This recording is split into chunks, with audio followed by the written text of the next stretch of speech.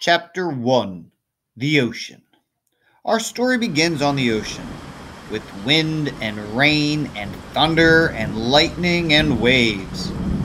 A hurricane roared and raged through the night, and in the middle of the chaos, a cargo ship was sinking. Down, down, down to the ocean floor. The ship left hundreds of crates floating on the surface. But as the hurricane thrashed and swirled and knocked them around, the crates also began sinking into the depths. One after another, they were swallowed up by the waves until only five crates remained.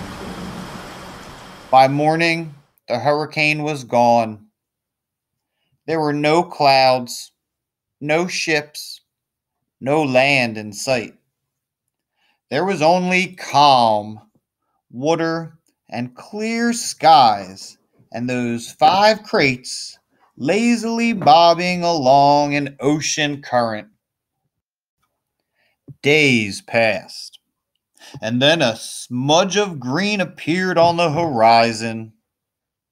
As the crates drifted closer and closer, the soft green shapes slowly sharpened into the hard edges of a wild, rocky island. The first crate rode to shore on a tumbling, rumbling wave and then crashed against the rocks with such force that the whole thing burst apart. Now, reader. What I haven't mentioned is that tightly packed inside each crate was a brand new robot. The cargo ship had been transporting hundreds of them before it was swept up in the storm. Now, only five robots were left. Actually, only four were left because when the first crate crashed against the rocks, the robot inside shattered to pieces. The same thing happened to the next crate. It crashed against the rocks, and robot parts flew everywhere. Then it happened to the next crate, and the next. Robot limbs and torsos were flung onto ledges. A robot head splashed into a tide pool.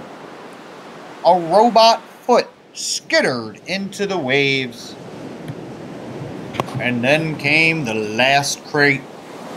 It followed the same path as the others, but instead of crashing against the rocks, it sloshed against the remains of the first four crates. Soon, more waves were heaving it up and out of the water. It soared through the air, spinning and glistening until it slammed down onto a tall shelf of a rock. The crate was cracked and crumpled, but the robot inside was safe. And that's the end of chapter one entitled The Ocean.